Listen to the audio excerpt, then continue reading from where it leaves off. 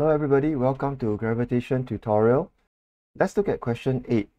A planet of mass m is in circular orbit of radius x around a star of mass big M.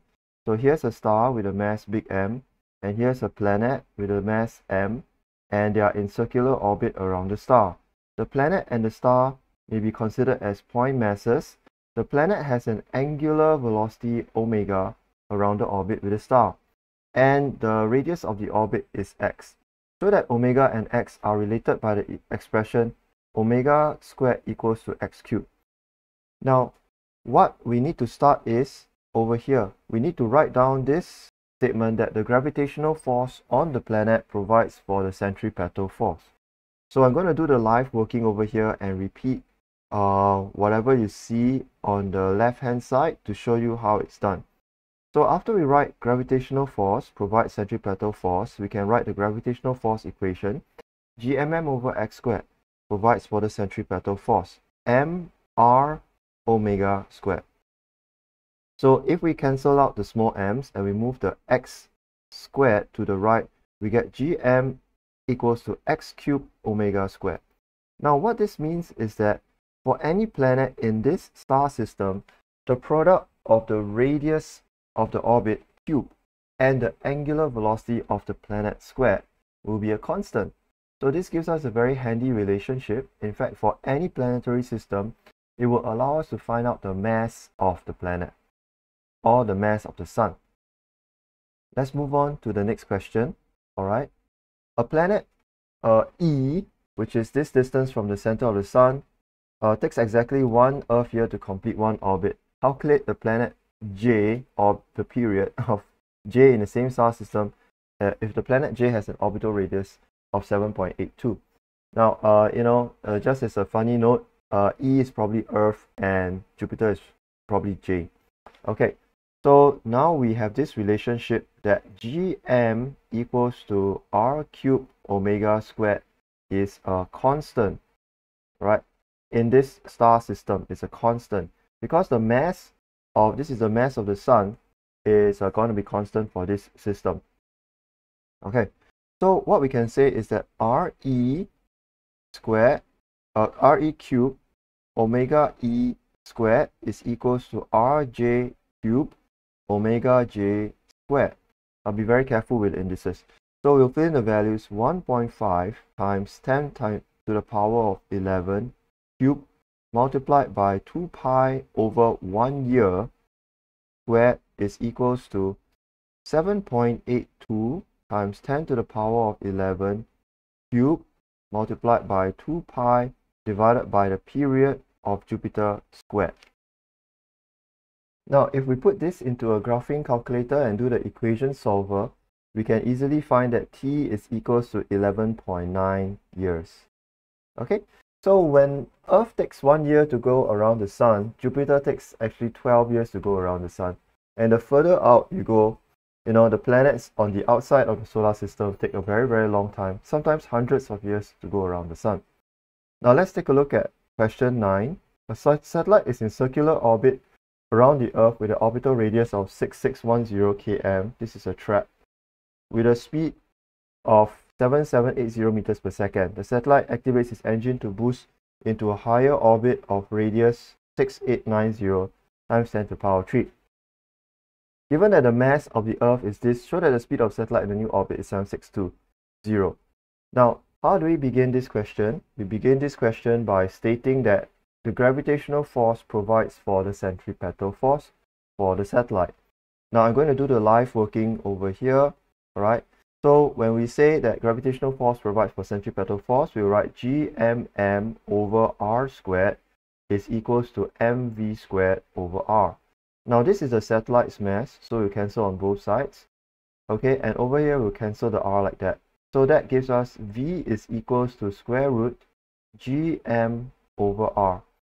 Now, so then we need to put in all the variables because this is a show question so we need to show the complete substitution 6.67 times 10 to the power of 11 multiplied by the mass of the earth 6.0 times 10 to the power of 24 divided by the radius of the new orbit which is 6 uh, 8 90 times 10 to the power of 3.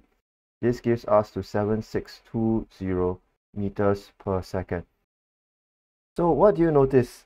You notice that um, when the satellite is boosted to a higher orbit, when the satellite is boosted to a higher orbit, the speed actually went down. This is 7780, this is 7620. So the velocity of the satellite actually decreased.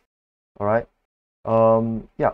So as satellites travel further away from the orbits are further away from the planet, the speed of the orbit actually goes down. Now the mass of the satellite is 120 kilograms. Given that the satellite moves from one orbit to another, calculate the change in its kinetic energy. So this is uh, easy to calculate. We can calculate the old KE1 will be half mv squared. All right, that will be half multiplied by 120, which is the mass of the satellite, multiplied by um, the original speed, which is 7780 okay, squared. And then the KE2 will be equals to half times 120 multiplied by the new speed, 7620 squared. And then if we talk about the change of the KE, it's KE2 minus KE1 will be minus 1.48 times 10 to the power of 8 joules. So you can see that actually there is a loss in the kinetic energy okay, of 1.48 times 10 to the power of 8 joules. Now what does this mean? This means that when you go into a higher orbit, some of your uh, kinetic energy is uh, actually used up okay, to put into your gravitational potential energy, uh, even though you fired a rocket engine. So the, en the energy of the rocket engine does not actually all translate into kinetic energy. Okay. Now, let's take a look over here, gravitational potential energy. Now, what is the change in GPE? So we know that uh, the GPE, all right, uh, is given by the following formula. U is equals to minus GMM over R. So this is U1 and then that's U2. So therefore, U2 okay is minus GMM over R2. So therefore, the change in the gravitational potential energy, which is U2 minus U1, will be equals to minus GMM over, uh, wait, we need to put in the values here. Okay, this is um, 6 times 10 to the power of 24 multiplied by 120, okay, divided by the uh, first uh, uh, the first orbit, which is uh, six, uh, the second orbit, which is 6890 times 10 to the power of 3, then minus of the minus, uh, but actually I should put 6.67 times 10 to the power of 11. That's 6.67 times 10 to the power of 11 times 6 times 10 to the power of 24 times 120 divided by 6610 times 10 to the power of 3. Okay, so we can see that the GPE is actually gaining 2.95 times 10 to the power of 8 joules. So there is a gain in the GPE. Okay, and the gain in the GPE is larger than the loss in the KE.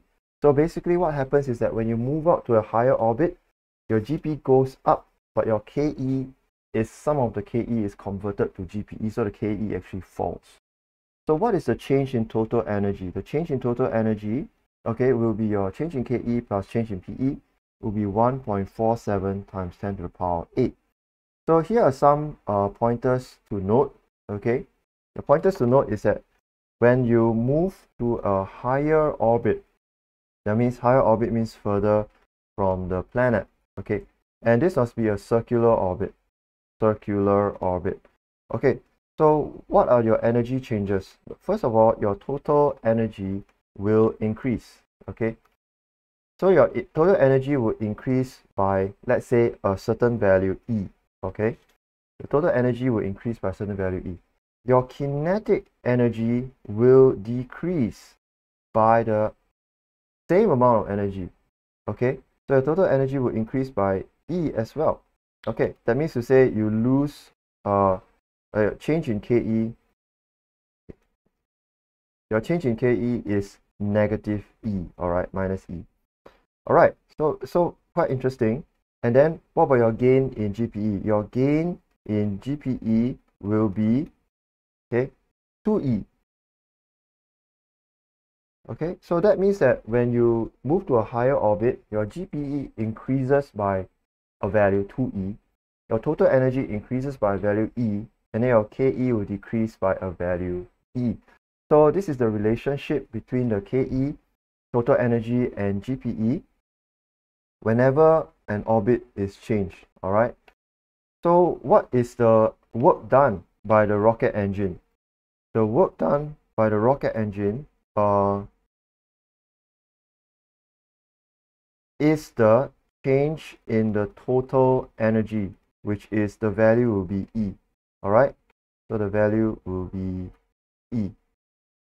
Right, so um, whenever whenever you have a rocket engine firing, let's say your rocket engine will use up uh, E amount of fuel, then your total energy of the orbit will increase by E, your K will decrease by E, and your gain GP will be 2E. So you can see that most of the energy of the rocket engine actually goes towards increasing the GPE.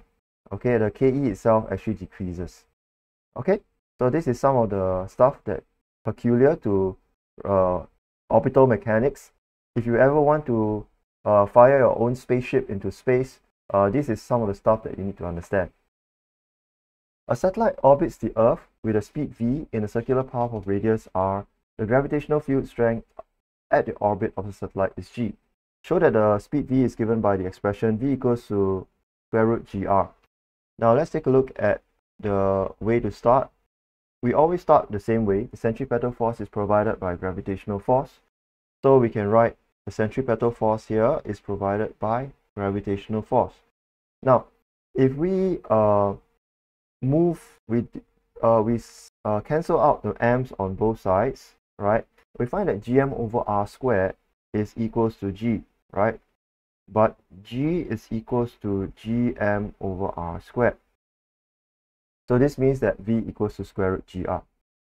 Hence, show that the total energy of the satellite is given by the expression total energy is equals to minus half mgr, where m is the mass of the satellite. Now, the total energy is the sum of the KE and the GPE of the satellite. So we can write that the total energy is the sum of the KE and the GPE. So, however, uh, let's note that we use this relationship V equals to square root GR. So what this means is that half mv squared will be equals to half mgr. Now, uh, also we note from uh, over here gmm over r now gmm over r can be written as minus gmm over r squared times r and this can be written as minus gm r. Sorry. Yeah minus uh, gmr over here. Okay, so what this means is that the total energy will be equals to half mgr minus mgr and that will be equals to minus half mgr. Okay, so why is the total energy negative? Remember, in order to escape to infinity, right, your energy must be at least zero. So if you don't have at least zero energy, meaning that if your energy is negative, you cannot escape to infinity. So the negative total energy means that the satellite does not have sufficient energy to escape from Earth's gravitational field and is therefore captured in Earth orbit. So you know, you think about Earth's orbit as the as the as the deep hole in a rubber sheet of uh, potential. The satellite cannot climb out of this hole because it doesn't have enough energy.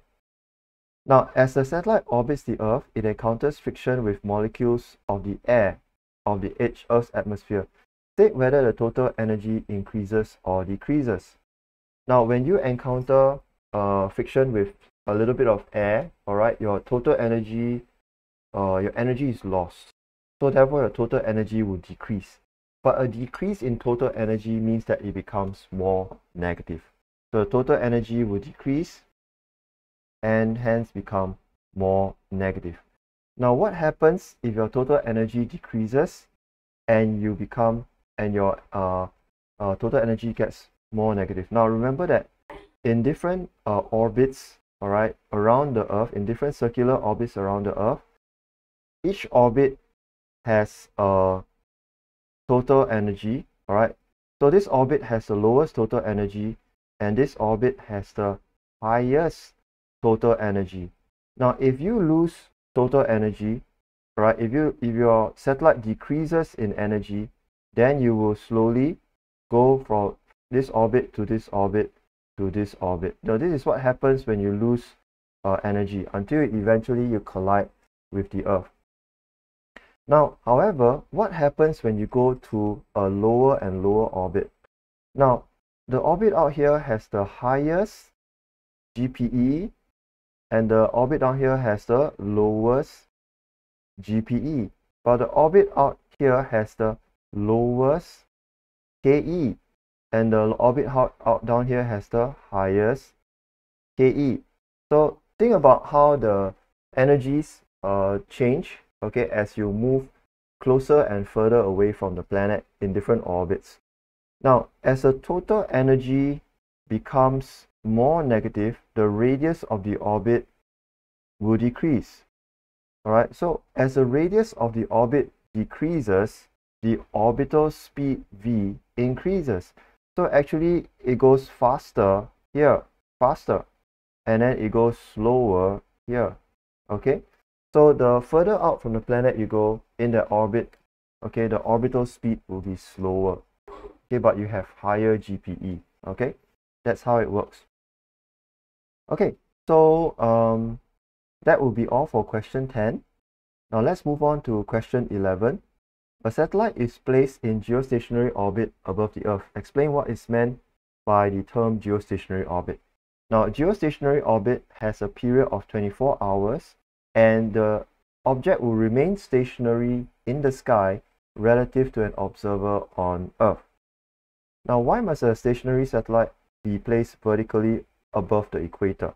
Now, it, the orbit must be on the same plane as the equator if the orbit was inclined all right so this is the equator all right this is this is singapore now if the orbit was inclined like that so this is the inclined orbit then after 12 hours over here this is at 6 uh 6 uh, a.m all right so at 6 a.m the satellite will be in the north okay but then uh, later on uh, at 6 p.m at 6 p.m when the earth and Singapore has rotated over here, then the orbit, then the satellite will look like it's in the south. So this means that the satellite will appear to move north and south over a six, uh, a 12 hour period. So 6 a.m. is over here. Then as the Earth rotates, 6 p.m. is now over here. And then 6 a.m. is over here again. Now this is terrible because if you have a radar dish that is pointing towards a satellite, then your radar dish needs to move every 6 hours and that's very very inconvenient okay so what so uh that's why the geostationary orbit should be at the equator because if it's at the equator then at 6 a.m the satellite is straight upwards. And then at 6 p.m the satellite is also straight upwards. So you can you only need to put your satellite dish like straight up. And the satellite will always be there whether it's 6 a.m or 6 p.m Okay, so that's why the geostationary satellite must be placed vertically over the equator. Because if the orbit was inclined, the satellite would drift hmm, north and south once every 12 hours. Okay, now why must a geostationary satellite be moved from west to east? Because it must follow the direction of the rotation of Earth. Otherwise, it will be going in the opposite direction of Earth and will not be stationary. Why is a satellite in a geostationary orbit often used for telecommunication. The satellite always stays in the same position in the sky and can easily be tracked by ground-based antenna. So let's say that you have a house and you want to install satellite television, which we don't have in Singapore because the government has banned it. Okay, but if you want to have satellite television, then you can just have a satellite receiver, okay, that is pointing straight at the geosynchronous, uh, geostationary satellite. Okay, now if this satellite was moving, if the satellite was moving, then you will need to also move the antenna along with it. So the antenna has to turn. But this is very expensive. Uh, most people who live in houses will not want to have a motorized satellite receiver. So they just want to install the satellite TV on the roof and forget about it for the next few years. So that's why uh, geostationary satellites are great for TV broadcasts. Okay, so the satellite always stays in the same position in the sky and can easily be tracked by a stationary ground-based antenna. Okay, next, the stationary satellites, geostationary satellites are also, okay, um, fixed in relation to other geostationary satellites. So this is the Earth, okay, and this is a ring of geostationary satellites around it. Now, because these are stationary with respect to Earth, so the, the, the, the positions of the satellites are always known to every other satellite. So let's say you want to communicate, someone over here wants to talk to the person who is over here. So what you do is that you broadcast your signal to the satellite. The satellite will then bounce off the other satellites and then rebroadcast it to the person over here. Now this was in the days before there was undersea uh, internet cables, but uh, satellite uh, phones okay use this technology where you bounce off the satellite, your signal is bounced around the satellite until it comes back to Earth. Okay, this enables signal to be relayed easily, allowing communication between points on the ground which are on opposite sides of the Earth. Alright? Now, let's go on to question 12. One third of star systems in the Milky Way galaxy are binary star systems, where two stars orbit the combined center of mass. So in this case, the two stars are moving around, okay, like two children on a merry-go-round, okay, orbiting the center of mass. The mass of, in this uh, star system, it's a simplified binary star system where the two stars are of the same mass m and the separation is 2r. The speed of each star is also the same at v. What is the expression for the centripetal force on one of the stars? So let's take a look at this star over here. This star over here of mass m is moving at a speed v and therefore it will need to have a centripetal force okay which is not actually a force but it's a centripetal force required okay the centripetal force required will be equals to m v squared over the radius to the center which is r right? So radius to the center is r is r and is r. So the centripetal force on one of the stars is mv squared over r what about the gravitational force of attraction between the stars? Now the gravitational force of attraction between the stars will be given by the two masses, the product of the two masses m and m, as well as the square of the distance between the stars. So the centri sorry, the centripetal force of attraction between the stars will be gmm over 2r squared. This will be gm squared over 4r squared. Now, hence show that the orbital speed of the stars is given by this formula. Now, as always during orbital motion questions, we start the equation the same way. We write centripetal force is provided by gravitational force. The centripetal force on the star will be mv squared over r, and the gravitational force on the stars will be mgm squared over 4r squared. Now, we can cancel out the m on one side, we can cancel out the r on one side, then we get v is equals to square root gm over 4r.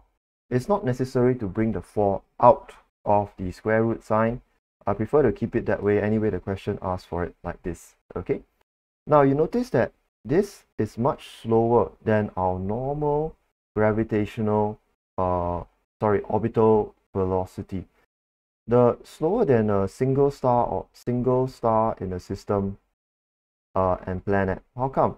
Because if you remember, the single star and planet, all right, the velocity of the orbit will be equals to gm over r. So the the, the binary stars actually orbit each other slower than if we have a single star and a planet around it. Okay, quite interesting phenomenon. Next, let's move on. Hence or otherwise, show that the orbital period of each star is given by this formula. Now, so over here, we have uh, orbit. Okay, sorry, it's not exactly a circle. This is the velocity v, and this is the radius r. Okay, so how do we find out the uh, time taken for one orbit? The time taken for one orbit will be the circumference divided by the speed. So the circumference will be 2 pi r, and the speed is given by our formula earlier, gm over 4r. Okay, so after some um, algebraic manipulation, okay, after some algebra, math, we obtain that the period will be 16 pi square r cubed over gm. Um, this is actually quite similar to what we know from before, where t squared is equals to 4 pi squared over gm r cubed, except that this is for the single star, right? Single star and planet.